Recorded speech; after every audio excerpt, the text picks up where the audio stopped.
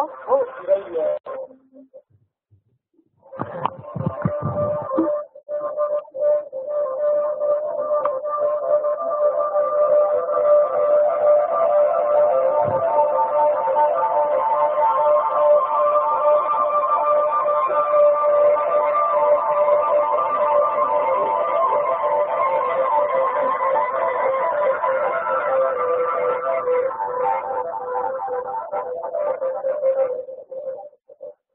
Good morning uh, or afternoon, wherever you are in the world. We have listeners from all over the world. That really surprises me, but I think it's wonderful at the same time.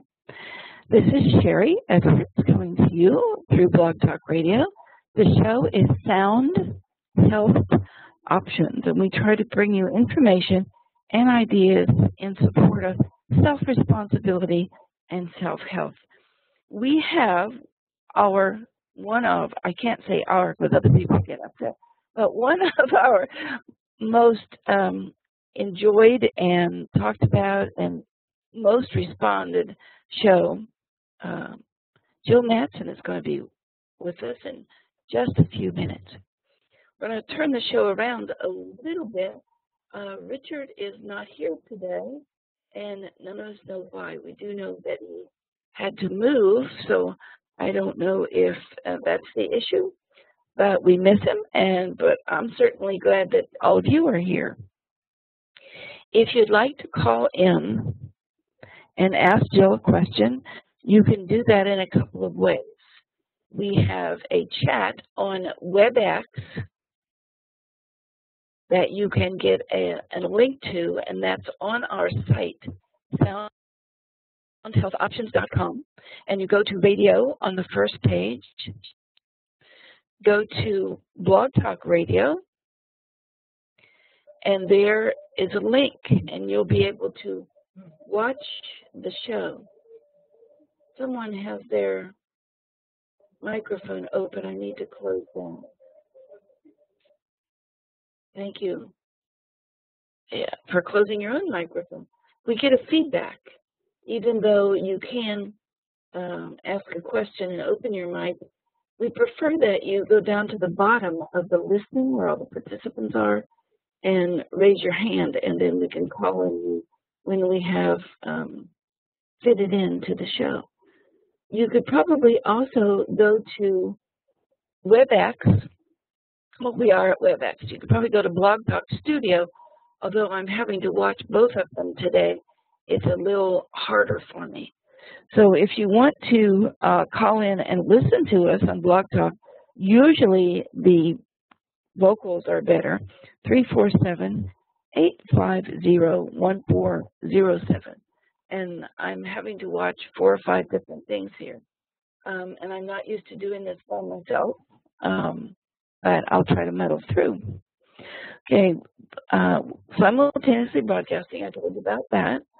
Uh, we are sponsored by the Institute of Bioacoustic Biology and Sound Health located in Albany, Ohio, really nowhere, Ohio, across the state from Cincinnati. And we have clinical services and classes for people who want to be our guinea pigs. Right now we're doing a project on aspartame, and I was in shock. Well, I guess I wasn't. Uh, I was surprised that there's so many things that aspartame can look like brain tumors, epilepsy, Parkinson's disease, mental retardation, birth defects, diabetes, chemical sensitivities, multiple sclerosis, chronic fatigue, Alzheimer's, lymphoma, fibromyalgia, arthritis, attention, attention deficit disorder. That's just a few that aspartame makes worse. I we are looking forward to finding a way to counter that for people. We also have a couple of special classes coming up. The one on Tuesday evening that we call Happy Hour, and you can go to our classes and look at that, is going to be about the new frequencies for bird flu. And we don't have the right things up on the site, but I will get them up there. And we're going to release uh, the information about the new H7N9 that they're threatening us with, and we'll also tell you what they're targeting. These look like, very much look like man-made viruses, and each set of them target a different part of us, whether it's genetics or fertility or whatever. And you'll be surprised, and I think relieved, when you find out what the next one is targeting because we have some antidotes for you. On our next classes, that's also on here, we have a two-day technicians class and a five-day professional class. I usually don't bring those up on the radio show, but the only time I'm doing it now is because we think we have enough matching scholarships for everybody in the next uh, November class. People have been donating money. It's the end of the year. Um, corporations donating money. They think we're doing a great job, and we try to keep class to 10. So we think we have enough matching scholarships for everyone. So if you are interested, please let us know. Call the office 740 698 9119 or just go to our site soundhealthoptions.com and go to our classes link. One more announcement and then we'll bring Jill on. I'm excited. Uh, she's working on her new book. I love her new book. I got a sneak preview of it. Uh, I don't know where this girl gets all this energy, but we'll talk about her just as soon as I look at the keynote. And the keynote doesn't have a lot of information on it this time. I guess that's okay. Things are slowing down a bit. And we've all also always leave you a little um, optical illusion there. For the keynote, most of you know that there's interstellar frequencies coming to the Earth that controls the tides and moonspots and whatever else is going on. And that it does it through controlling uh, or influencing the water. So the water in our bodies, you know, anywhere from 90 to 99%, depending on who you read. So these interstellar frequencies coming at us, that's being monitored by NASA and some of the private companies, have an influence on us. So today is probably, uh, right now, is probably the last few days of F sharp. We're moving into G, and G is represented by Scorpio astrologically and by blue-green as a color. And I'll just read this to you. Excuse me. For those of you with blood sugar issues, the color of Scorpio, blue-green, is especially supportive, especially when mixed with hot pink. You know, sometimes we can almost see what is influencing people by way of their physiology by watching the colors that they wear all the time. That'd be great if everybody wore the color that they loved for the day. Did you ever take notice of what color you want to look at today? Use the color card, card chart that we provided with our Nano Voice personality software so that you can double check your moon your mood for today. And we put it there under downloads and also put you a link there. But if you'll remember, it's that note correlate chart that gives you the note, the color, and I'm showing this to our people on the WebEx uh, broadcast. But if you're on the Blog Talk broadcast and you want to have one of those, the link is on our site, soundhealthoptions.com. And the link is under Nano Voice, under downloads. There's a lot of stuff under uh, downloads. There's insulin resistance, free software for you there. Uh, radiation exposure is there. Some videos, some other um, goodies there that we try to provide to the public. For this week, it's mostly body parts that uh, is in stress, nose, ears, and throat. Now, a lot of people come to the office for throat and uh, swollen glands. We know why. They're sensitive to these influences coming from the earth. I think I'm going to ask Jill about those too, if she knows more about them. She probably wrote music about. She's so prolific. but they're controlled by the vertebrae C4 and C5. That's the in your neck. They can manifest negatively as earache or increased sensitivity to noise. Don't overwork your throat without some special pampering, especially if you are involved in a haunted house theater or plan to visit one. We did did have somebody that came in with a throat issue from jumping up and screaming at people in this haunted house theater that they have out in the country. Be sure you bring along some lemon and honey drops to keep all the stress associated with your screaming and laughing uh, far away from you. Flu season is upon us. The literature suggests extra zinc and or vitamin C would be a, a prudent step. Airborne, which is comes in a little vial or uh, it's like a nutrient. Um, you can find it at your favorite store, probably uh, even grocery stores are carrying them. It's chock full of vitamin C and touted to be a magnificent anti-brew uh, for the flu. And I love the gummy format, but you'll probably eat too much. If you eat too many of those little gummies, it gives you sort of an acid stomach. And we had one question. Uh, our keynote, our keynote, which is what we call it, ask Jill that question. Officially, I think it is because I think we can pay more attention to sounds now, where a long time ago we couldn't. We couldn't hear because of all the man-made electricity. So time for our guests. I've tried to hurry through all those announcements. Jill Mattson is one of my favorite people on the planet. She is so authentic, and she does a thousand things. She writes music, she writes books, she paints, she does covers of all kinds of art. Um, she gave us a bunch of her paintings one year for our annual conference, and people were fighting over them. They loved them so much. Jill, welcome to the show. Thank you, Sherry. It's so wonderful to meet you and everybody else, and I'm so excited about our topic today. Look, could you music of the sphere? Could you elaborate on the uh, the keynote there, music of the sphere, sphere, music of the spheres, and how that well, uh, yeah, go ahead. How that comes to Earth and how it affects us. Sure, sure. Um, when a planet moves in its orbit, it creates vibration, and um, I don't know, simple word for me, I always think of a motorboat in a, in a bay or something. And, you know, as it moves, it has the waves behind it. And so it is in uh, the movement of an orbit and also the rotation of a planet. And um, and of course, as it's coming to us, you know, there's the Doppler effect, so the waves get a little squished together, and when it goes, it has the opposite effect when it goes away. So waves come to us um, from our musical um, planets.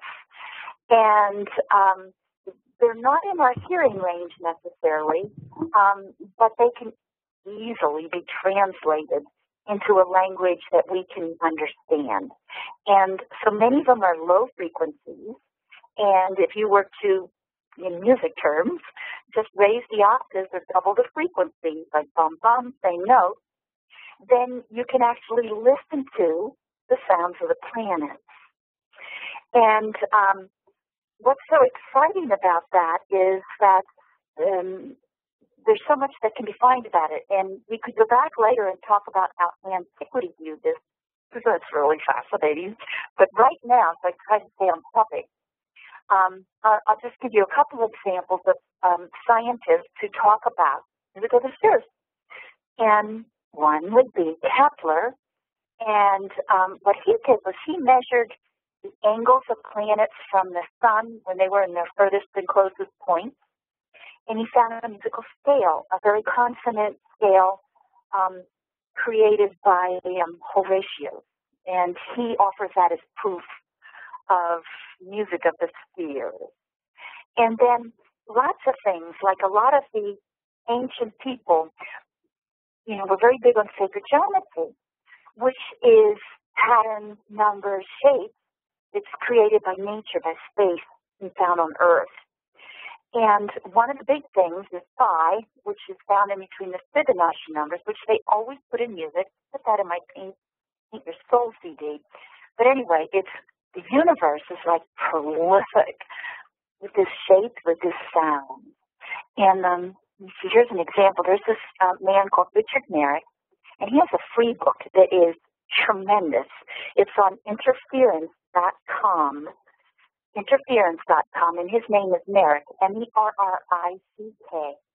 Anyway, he was able to measure like a semi-major axis through the foci of each planet's orbit, and I know that sounds a little gobbledygooky, but anyway, he, he calculated the ratio, the distance between the planets, and then he averaged them, and he found that the ratio planets was always five. And it's this, this number that's found everywhere in Earth.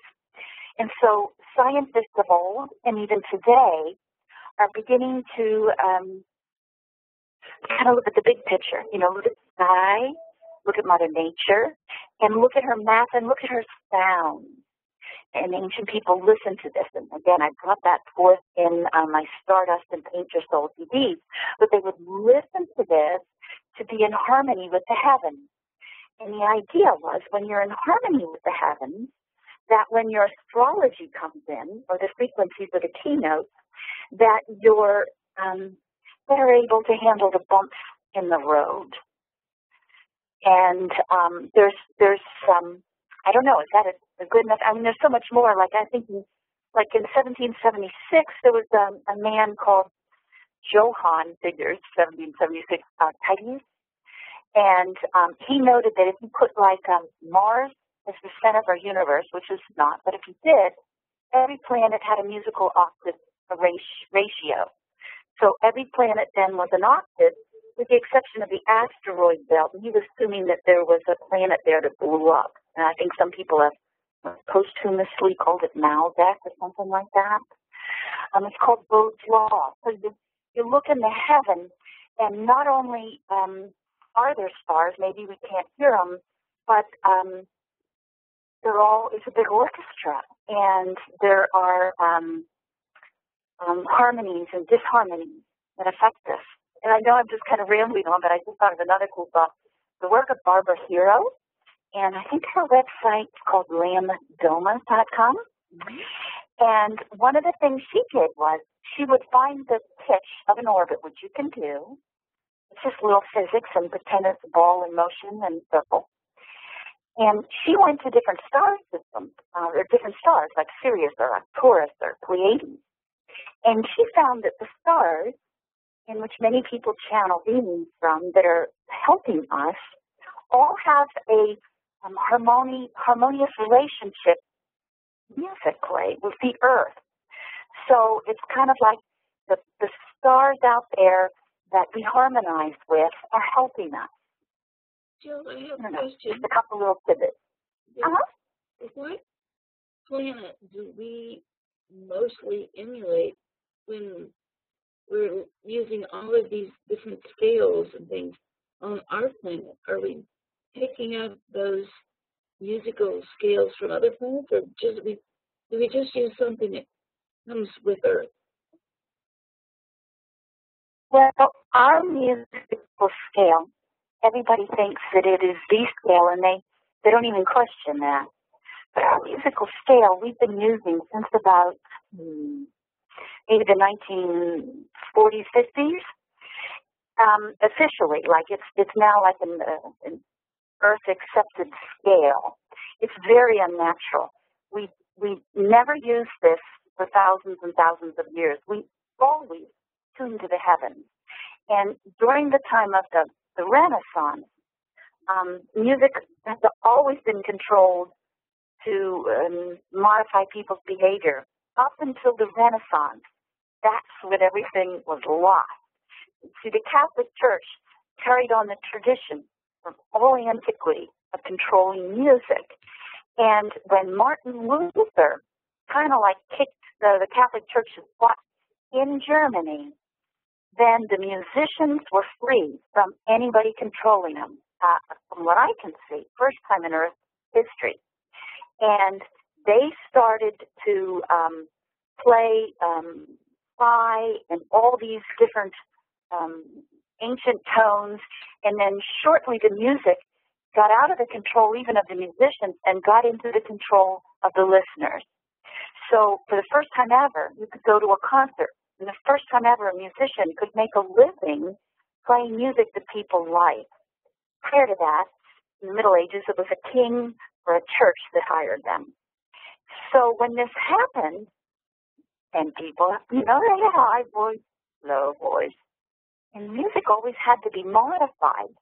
So they came up with this equal temperament scale, which blows out all the sacred geometry. It's very unnatural. It's like a GMO. So the music that we listen to is um, it's unnatural. And notice, notice that when this this equal temperament scale comes into being, the industrial revolution follows.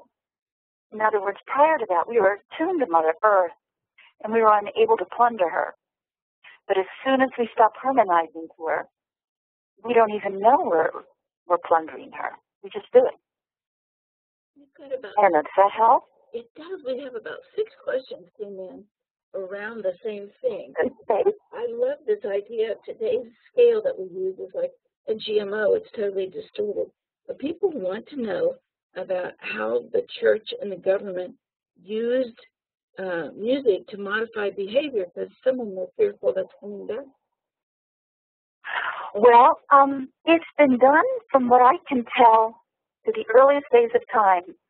The Zoroastrians did it, the Babylonians did it, and some of these civilizations, I don't know, there's a lot of questions about the accuracy of their history, many dating them to about 7,000 years before Christ or after, you know, after the, um, the fall of the last ice age. They all do it. But they're doing it to keep their people in harmony, strong, healthy, and um, kind of cohesive. And so, like, for example, in China, they would control the tuning so that every sound, every every community had music that was very harmonious, and the A in one was the exact same as the A musical note in another, so that everybody was in harmony. They feel the, it felt as a, the community tuned to a B flat and an A, that these two communities would be as dissonant in their personalities as those two notes are to listen to. And it's the same thing with musical astrology. Um, when sounds come in that are dissonant, that's when you have problems. And we could go into that later. But the ways that they control them was that um, in ancient times, you know, tuning to the stars, the Stardust, which I did in my Stardust CD, and um, they were tuning to um, Fibonacci and solfeggio, and they were also relocating the spy, the sound um, from nature, um, at different places in the scale. And let me see if I can explain this. Kind of, um, see if I can be clear. If I'm trying to make it easy. Okay, so let's pretend we have an etch sketch, and you know, remember that little toy, the right little knobby, kind of made a, a, a, a curve in your drawing? and the left little knobby made a straight line. Well, sound change in arranged matter. So whenever you play phi, you get a curve.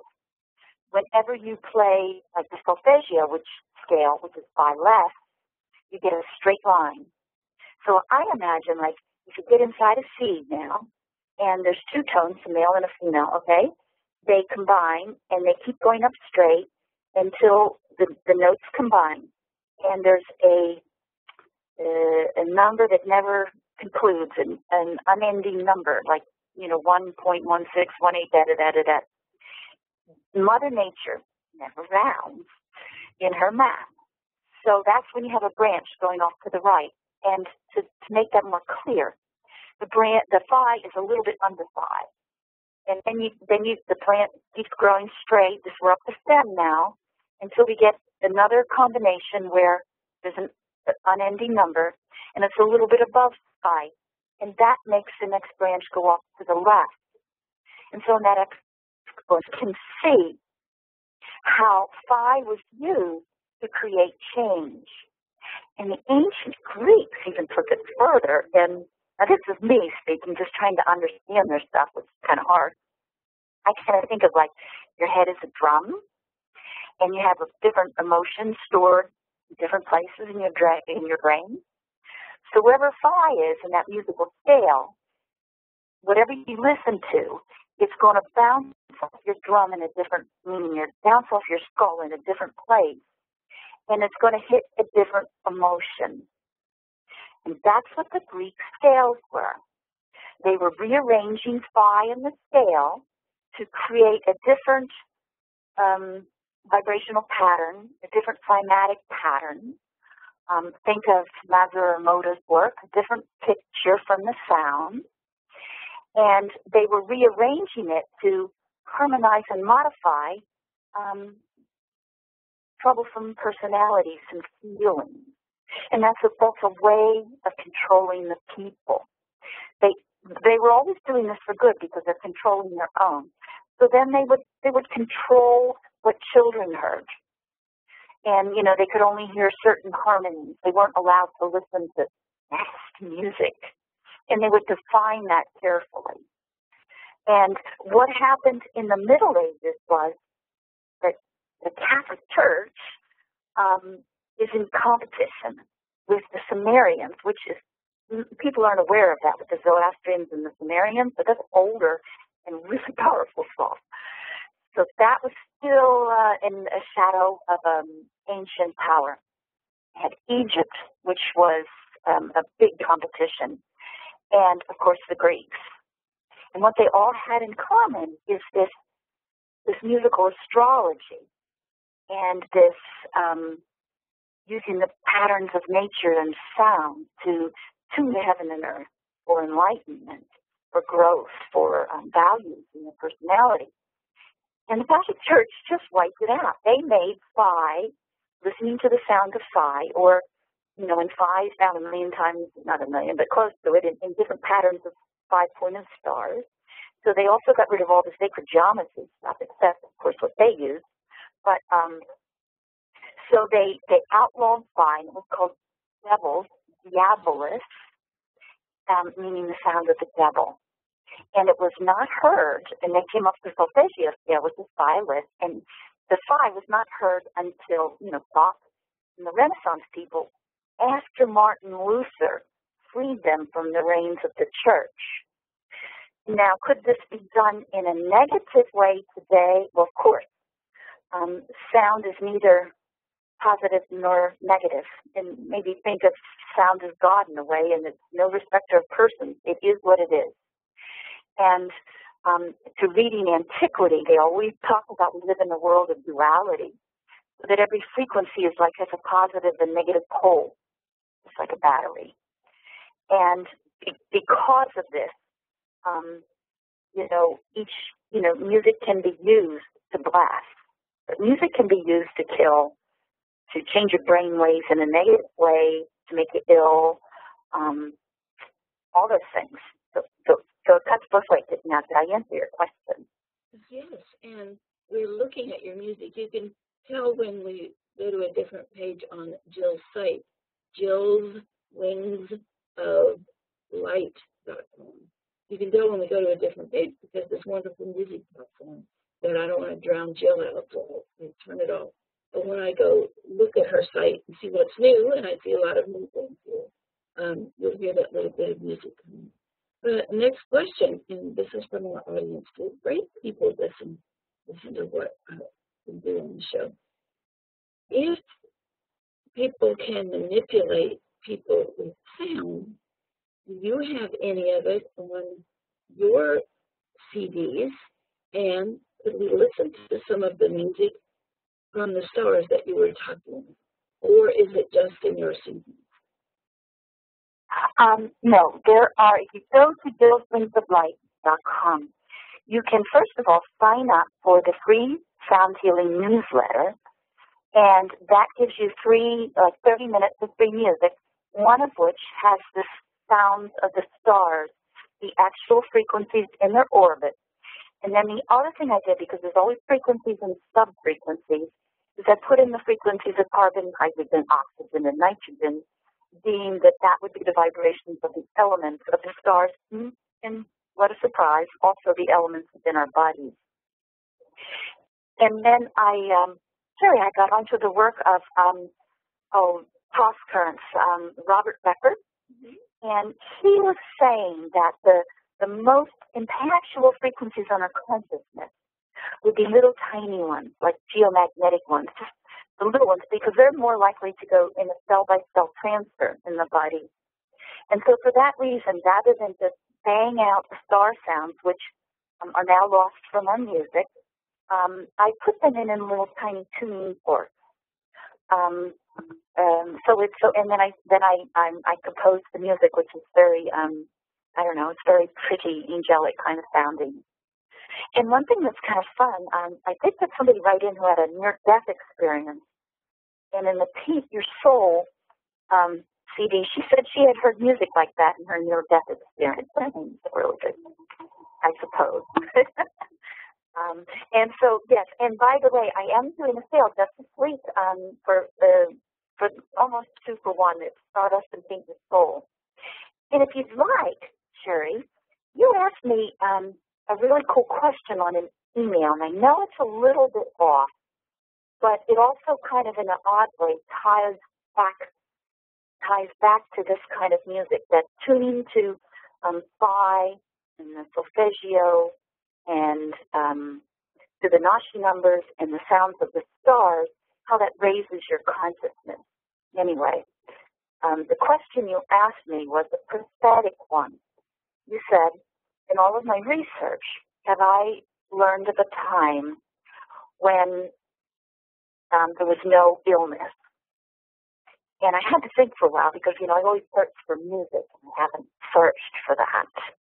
But um, I I did um, I did get an answer from antiquity, and then I also got an answer from channeling. And I don't know if everybody buys channeling, but I always like to keep an open mind for that because it expands my thinking. And this is what I got.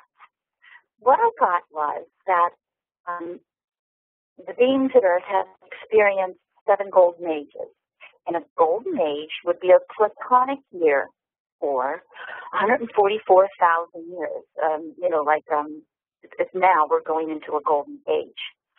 And that the that when when we go through this large period of time, which by the way calculates to the musical note of an F, um, uh, we kind of learn different lessons.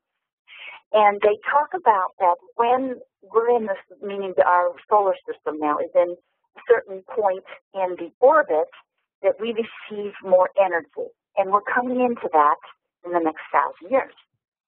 Um, so we receive more energy during these periods, and it said that, or what I received was that, in the past, during these golden years, we always had great beings. This would be the time of, um, you know, masters would walk amongst us, many, many uh, ascended beings and angels and stuff like that.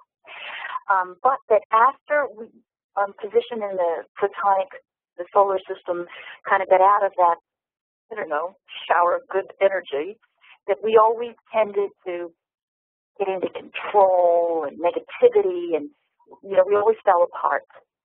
And then I was told that about the third or fourth golden age, that we um, started, the earth was um, becoming more inhabitable for a physical body. We started becoming heavier in frequency and being more of a physical body. And that we, um, as a, a civilization, as a planet, chose duality, which is experiencing positive and negative poles. At first, it was not good and evil. It was just like a battery, positive and negative. But as we kind of like got more and more physical, we then um, got um, positive and negative associated with right and wrong, good and evil. And when we did that, as we spent time in the evil, because because of the duality, there's both frequencies there, and, and you can't avoid them. So when you spend time in the negative, that's dis-ease or disharmony, and um, that would would make us sick. And that's of course answering your question. So what they what I got my channeling was is that when we chose when we kind of became a, a, a dimension, a planet of duality, we then introduced disease um, because it is, is, is ultimately a result, somewhere along the line of negativity or disharmony. And um, then what I was shown in my little channeling was that um, at this point in time, when we were immersing into duality, that our higher selves or um, our connection to the divine was um, somewhat temporarily severed in the and then there was like kind of like an energy that was like an intermediary. And in Christianity, that, that intermediary energy would be called the Holy Spirit. And it has different names in different religions, but it's like it's like God that all it is. Whenever you get outside of yourself and just observe yourself, or, or the near-death experience where you're one with everything and everything's okay, it's it's um it's not an emotionally charged state, and that would be like the spirit in your spirit, which is way up your life stream, which is connected to the divine, you know, doesn't understand jealousy. You know, it doesn't it doesn't get a lot of things. Like if your child's gonna die, it would know that life is eternal and it wouldn't understand that that would make you very sad. It wouldn't understand that either. And so that was the necessary um, reason to have this Holy Spirit, this intermediary that kind of had like a foot foot in divine and a foot in our life. But if we get negative enough, we even disconnect from the Holy Spirit. And that's what Jesus was doing, was trying to um, connect us, uh, uh, give us um, contact back again with that Holy Spirit. And what, when I channel, what they, because my music is given to me, it's kind of cosmic plagiarism, but, you know, I hear stuff and I write it. So, uh, um, anyway, what they said is that the painful soul, which is the Fibonacci tuning to nature in the five, um, brings down energy from your Holy Spirit, and that the stardust, and again, this is all just channeling, but that the stardust or the down to the planet brings down um, energy from your consciousness. So that answers some I don't know. That answers some questions. Uh, I'll try to combine a couple, but one that I wasn't going to ask yet, but I'm going to since you brought it up. I want to be more creative. Which one of your CDs should I get? Um, I would do the one with five for changes. The pages After old? pages old. Okay. Mhm. And I'm going to combine two questions here. Is there one type of music that is more healing? And is there music that we should stay away from? Okay. Uh, it's almost like you need two answers. There's a generic answer and there's an individual answer. Um, the generic answer is that disharmonious music, um, and again, music that um, frequencies that are um, high in volume would be another difficult um, type of energy on your body. Think of this. You know, what, what, what is the human body, you know, when, even with the apes and stuff, you know, you look at our evolution and it's over long periods, hundred thousands of years. And we were affected by and modifying our body to what?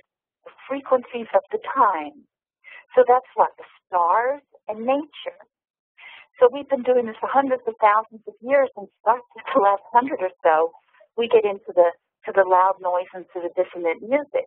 Our bodies have not evolved to handle that. So that's going to cause us negativity. And if you look at the work of Robert Tucker, he's showing where the, the, the strong frequencies, even out of our hearing range, cause um, terrible diseases.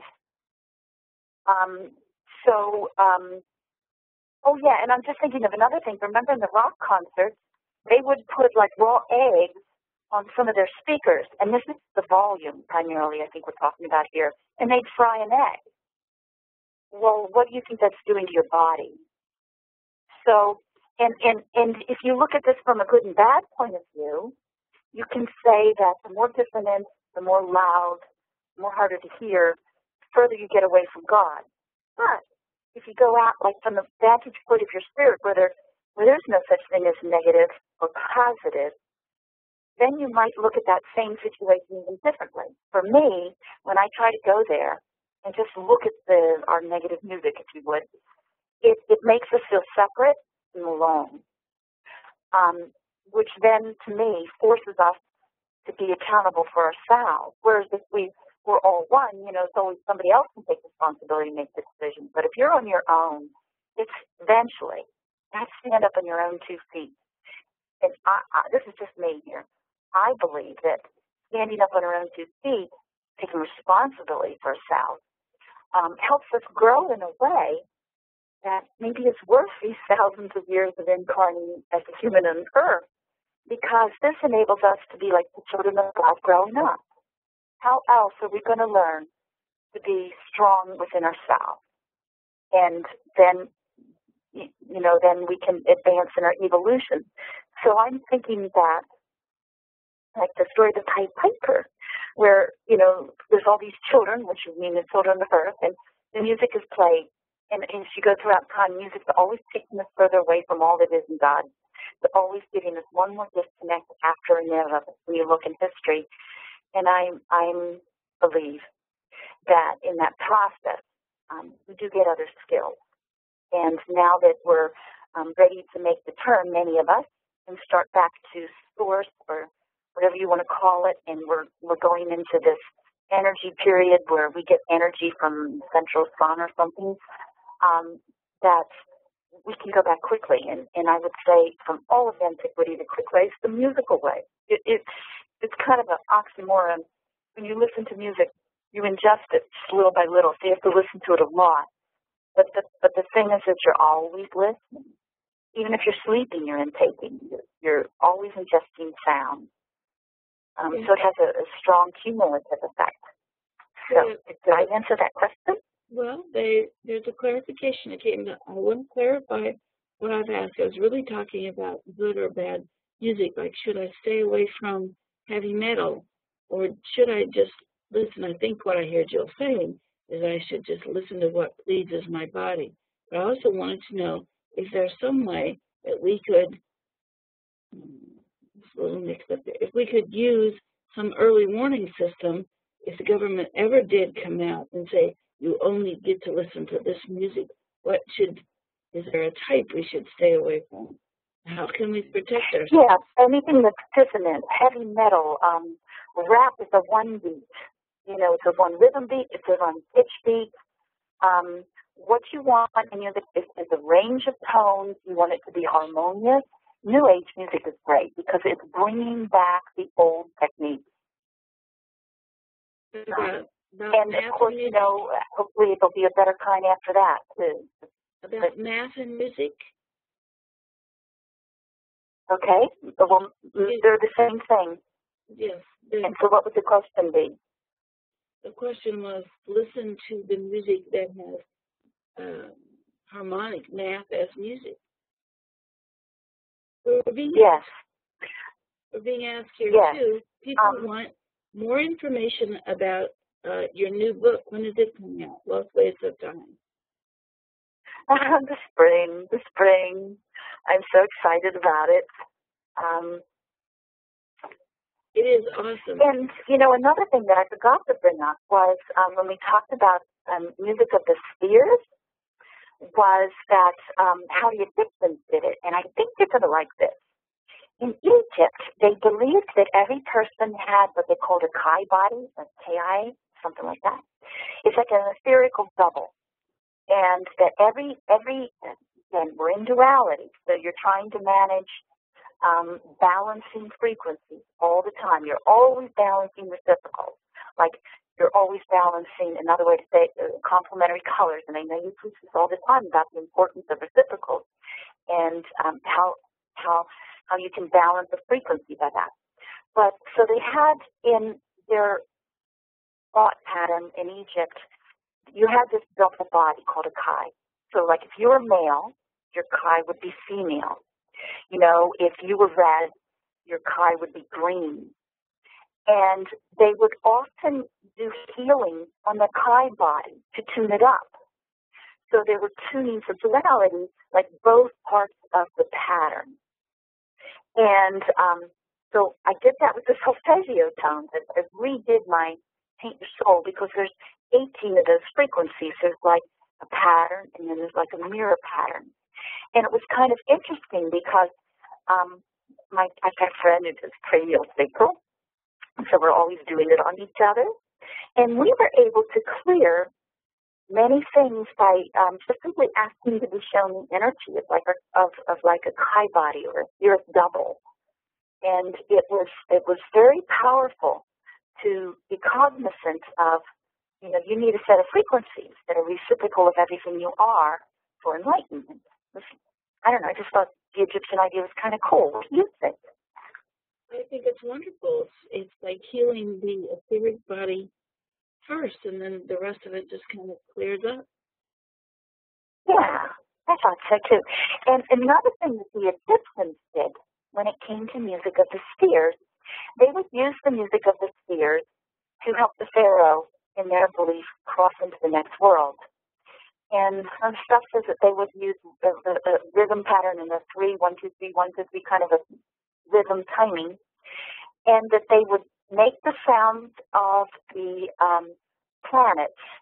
Um, and it, all throughout antiquity, they related um, vowel sounds to harmonic patterns, and that has been proven so with modern, modern science with Clarence Darrell Miller, who photographed vowels, and they do indeed have different harmonic patterns. And um, so um, they they would um, where am I going on this? Um, oh yes, Tony. So and um, I was just looking looking through some papers to find the vowels, what they considered the seven planets. I was going to just tell them to you. But um, so they would tone then these vowel sounds, which would represent different types of harmonic patterns, or maybe harmonic patterns on different key notes. And then it was like a matrix, or like a Rubik's And once they got all the different vowel sounds together that represented the planets, they were kind of like infusing their body in a healthy harmonic matrix of tones. And you understand that, Sharry. Did, did you have anything to add to that, or? I think what it really says is that everyone has their own harmonic uh, set of music, and that that may lead us over here to this is maybe why you don't get along with that person, or you get along very well with this person. That they match they match your your notes because we all know that DNA um, actually has concrete pieces to it that give off vibrations of sound and together make a kind of a haunting music. So yeah, I, there's a question, and it probably is just over my head because I don't understand the question. You probably will. Is there a tool like Nano Voice which would illustrate the spectra of music. They're talking about Nano Voice, um, our little teeny program that uh, people speak into and they can tell what notes are prominent and what notes are missing. Um, but okay, you, um, I'm not sure I quite understand the question again. Could you say it again? Is there a tool like Nano Voice which would illustrate the spectra of music? I didn't understand. Okay, illustrate the spectra of music. Well, it's kind of hard because it's like you can look at music from a harmonic viewpoint, which is harmonics are just like after ripples. It's just following matrix patterns of how things um, vibrate. They vibrate always the same. And you could look at terms in pitches, which affects us. You could look at things in terms of rhythms, which affects us. You can look at terms of, again, instruments, which are again harmonic patterns. And so um, it's, it's kind of hard because all of those all of those factors can be considered spectra of music. Um, my book is showing you spectra of pictures throughout time, pitches throughout time, and a little bit of the harmonic pattern. And a um, lot about ancients, I can't wait to to see the real thing. But you know, you let me read it. I was so pleased. You let me read it beforehand, but it always comes out more blossomed, more full um, when it comes out. Actually, you have a couple of other books that people want more information: Ancient Sounds, Modern Healing, and Secret Sounds, Ultimate Healing. They're on your book, on your site. We're looking at them.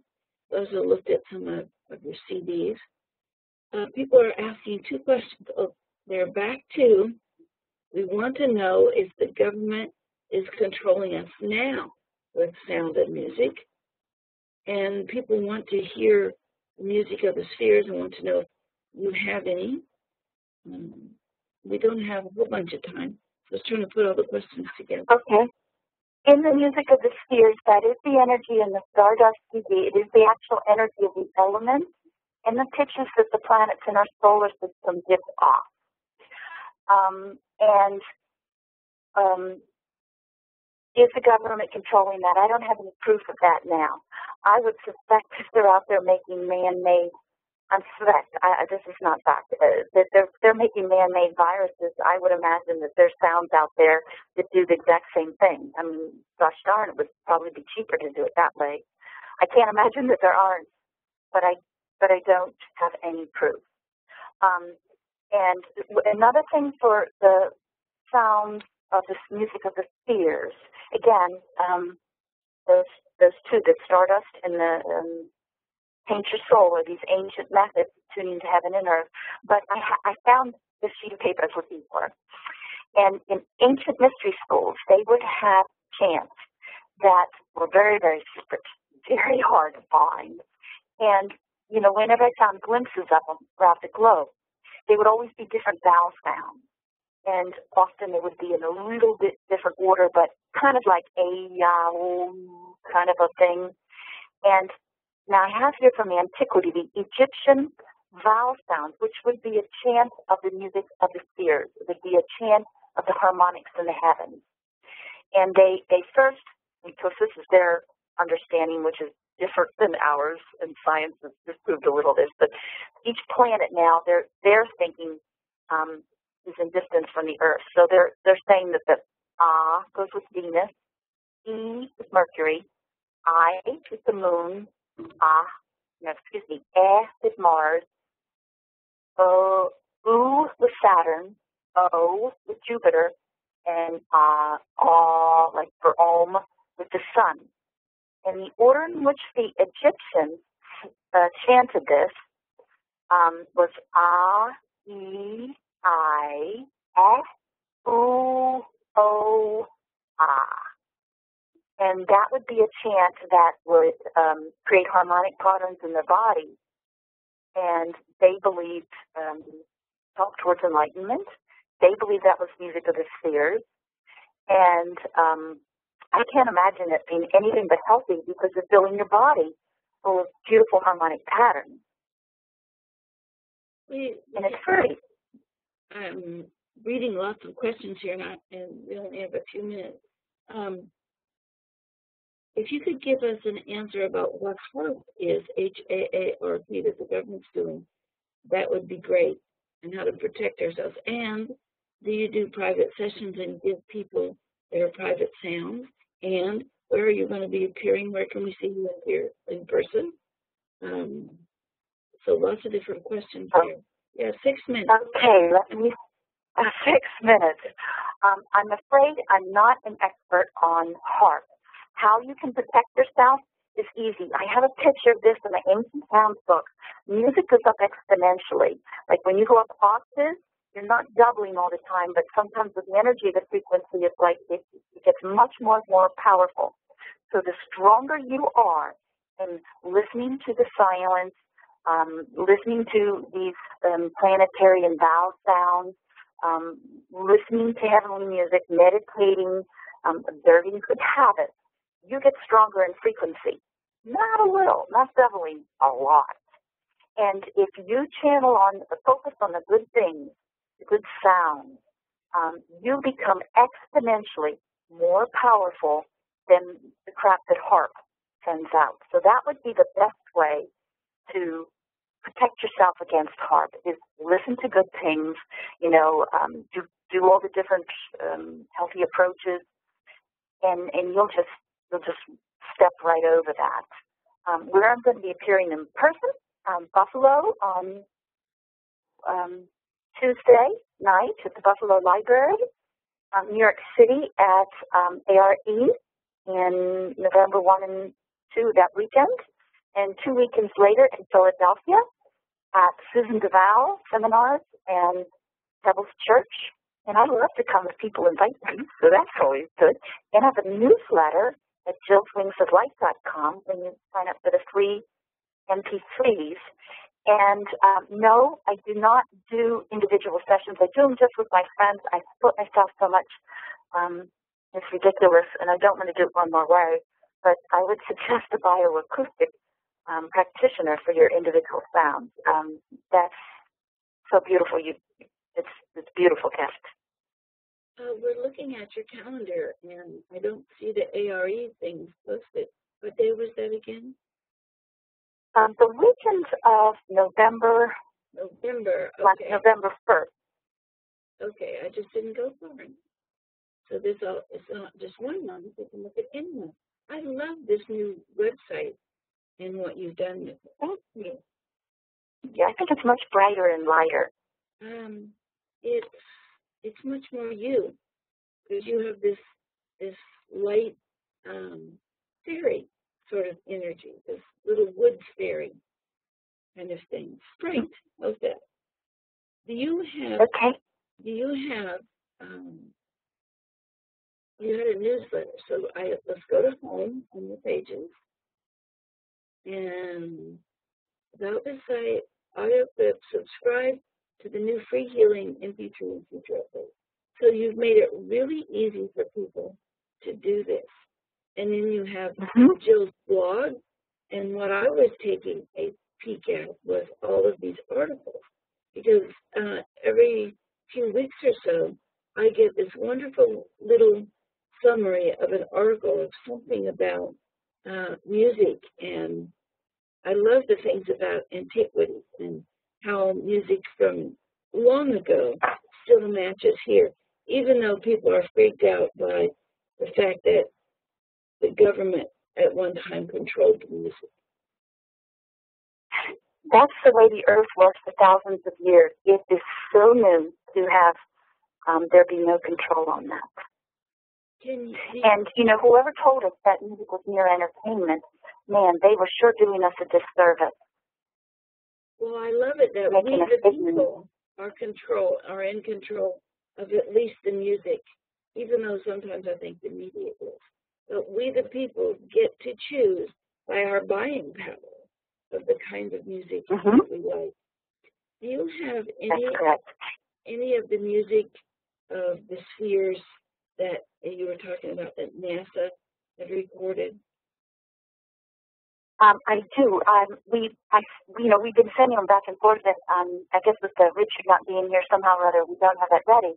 But you can go on NASA's website, and they will give you clips um, of space sounds and stars. And it's a real hoot. They have some spooky sounds from Saturn, um, of course, a planet associated with challenges. And they have some beautiful sounds um, from the different stars stars out in the sky. And it's it's really quite insightful. And here's another thing that's interesting. This is the work of Jeffrey Thomas Thompson, excuse me. And he has shown that when you take star sounds down several octaves, they begin to sound like whale sounds. You take them down more octaves, he reports that they sound like dolphins. If you take that star sound down two more, it's going to be reminiscent of a bird chirp. And two more octaves, crickets, and two more octaves, humans. That's just incredible. And it It means there's just one great big octave and they all fall on the scales on it. Yeah, it's like a universe, one voice. We're all singing together. Mm-hmm. We have the lady that yeah. says she's very anxious and wants to know what uh, which of your CDs you would recommend. Uh, if she's anxious, um, Paint Your Soul or Stardust are the most calming. Okay. So when you give a description of these on your site, do you tell people what each of them is for? Well, if you go onto um, the home page or the sales store page, click on the actual picture of the CD. It would bring up a page that describes it in great detail and gives you samples hmm. and testimonies, I think. I love this artwork on Paint so We should tell people that Jill does all of this artwork, in addition to all of the music, in addition to all of the research, in addition to all of the events. Uh, and you at one time had your own radio show or appeared regularly on several shows, didn't you? Um, I'm trying that out a little bit. I think it's this month. I'm just experimenting with it. I think it's the 31st at Blog Talk Radio with Rosalia. Um, just experimenting with that with my own radio show. Well, we're certainly happy that you had time for us. Oh, I'm so happy to be here. There is so Thank much for information coming out of you. It's just like bubbling all over. And uh, I can't wait for your book. You're going to announce it, Rose? absolutely, Okay. absolutely. And I'm again so grateful to be here. Well, we thank everybody for being here. If you love the show and, love Jill, please announce it on your Facebook that um, there's information about what to do and with external music and how to create your own internal music through the guidance of a very special person. Thank you, Jill, for being here. We're out of time, and it's, Thank it's always that way with you. We'll talk to you all later. Okay, blessings everybody.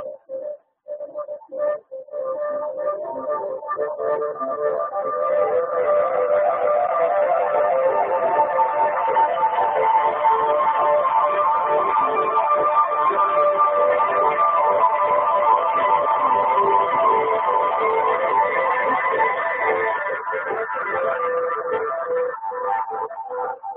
you.